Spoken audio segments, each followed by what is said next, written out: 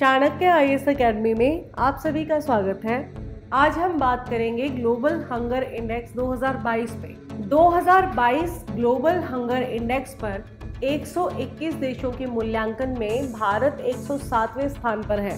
29.1 के समग्र स्कोर के साथ भारत में भूख के स्तर को गंभीर के रूप में वर्गीकृत किया गया है। भारत जी एच आई दो हज़ार इक्कीस में 116 देशों में से 101वें स्थान पर था और 2020 में मूल्यांकन किए गए 107 देशों में से चौरानवे स्थान पर था।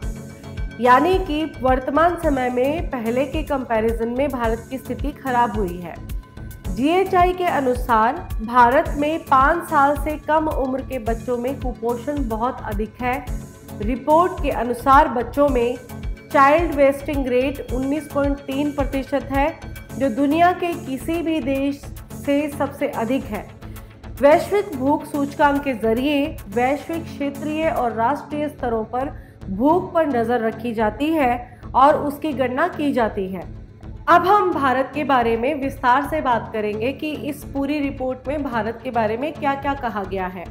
29.1 अंकों के साथ भारत में भूख का स्तर गंभीर है भारत 2021 में 116 देशों में 101वें नंबर पर था, जबकि 2020 में 94th रैंक पे था।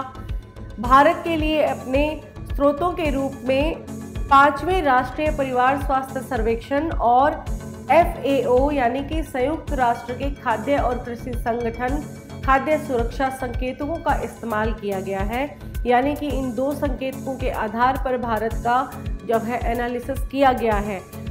पाँच साल से कम उम्र के 35.5 प्रतिशत बच्चे अविकसित के साथ भारत, पाकिस्तान और अफ़गानिस्तान सबसे खराब प्रदर्शन करने वाले देशों में से हैं। यानी कि ये तीन देश सबसे खराब प्रदर्शन वाले देशों में से हैं।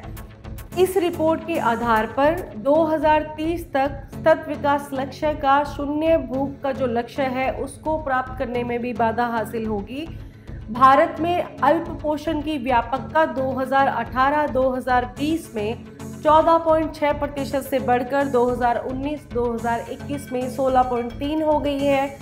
इसका मतलब है कि दुनिया भर के कुल बयासी करोड़ लोगों में से भारत में 22.43 करोड़ की आबादी अल्प पोषित है।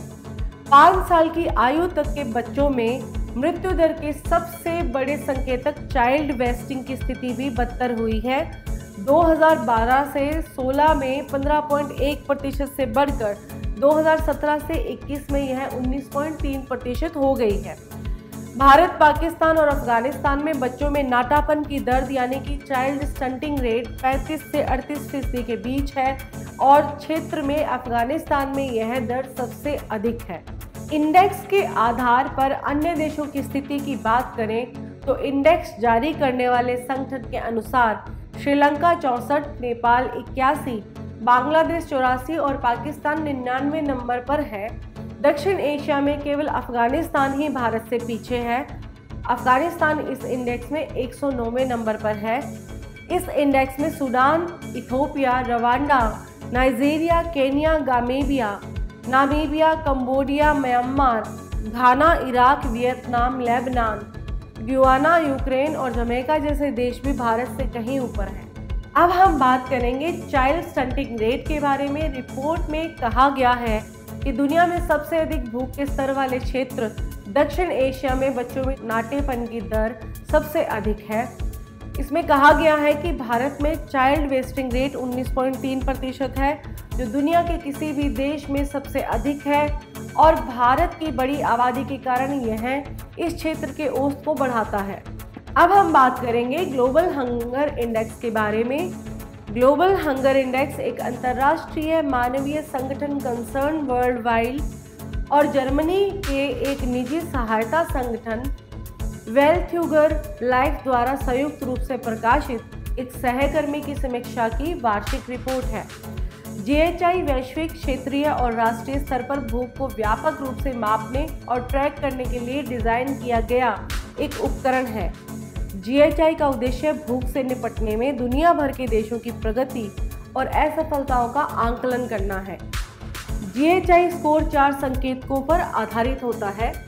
ये चार संकेतक हैं, अल्पोषण, बच्चों में कृष्यता अथवा पाँच वर्ष से कम आयु के बच्चों का हिस्सा, जिनका वज़न उनकी ऊंचाई के अनुपात में कम है, जो गंभीर कुपोषण को दर्शाता है।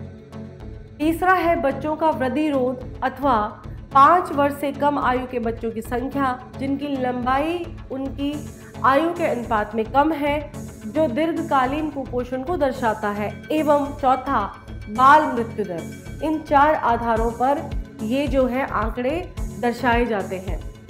इस प्रकार आज का हमारा ये टॉपिक यहीं पर कंप्लीट होता है। हम कल फिर मिलेंगे एक नए टॉपिक के साथ। आप हमारे यूट्यूब चैनल को लाइक शेयर और सब्सक्राइब ज़रूर करें। Thank you so much Don't forget to like, share and subscribe to our channel and press the bell icon to never miss an update.